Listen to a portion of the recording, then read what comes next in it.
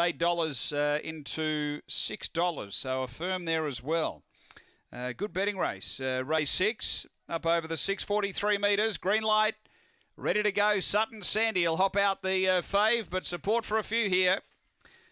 They're racing, and Speed Sutton Sandy's driving hard. It's going to push on, looking for the front. It got over. Sutton Sandy leads, stress the point. The margin about a length, a lap out. Four or five away, sell more houses, no surrender. Then Strathmill Lass and Stay Focused. They go to the back. Sutton Sandy tackled and headed by Stress the Point, who runs to a clear lead now. About three away came Sell More Houses, no surrender. Strathmill Lass and Stay Focused back at the tail, but off the back, Stress the Point, led by three. Sell More Houses running on strongly. Uh, then Sutton Sandy up to the bend. Sell more houses through on the inside, challenging. Stress the point. Sell more houses took over and drives clear. Sell more houses beat Stress the point. Stay focused late, charging into third. Then Sutton Sandy. Uh, next is Strathmill Lass. It was back toward the end. The uh, time here is around 38 and 70.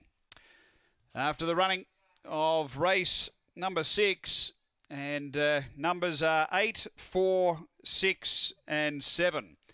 Eight, four, six, and seven. Number eight, the winner, uh, which is uh, Sell More Houses for Kia Hurley. Number eight, uh, beating four, Stress the Point for Nikki Price. Uh, third to six, Stay Focused, uh, also for Nikki Price, and Sutton Sandy for Angela Modra. So it's eight, four, six, seven after race six here at Gawler.